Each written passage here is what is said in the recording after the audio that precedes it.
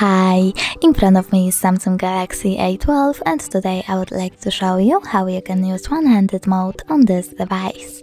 Start by going into settings, then scroll down, go into advanced features and tap on one-handed mode. Over here, click on the switcher to activate it and pick one of these options to reduce display size with gesture or button. I will go with button so I have to tap on it and follow the instructions. Double tap the home button. So when I do that, I can see that one-handed mode is on. If you want to change placement of this little screen, you can click on this icon over here. And if you want to go back, tap on the black area. If you want to turn off one-handed mode completely, you can go into the same settings and tap on the switcher.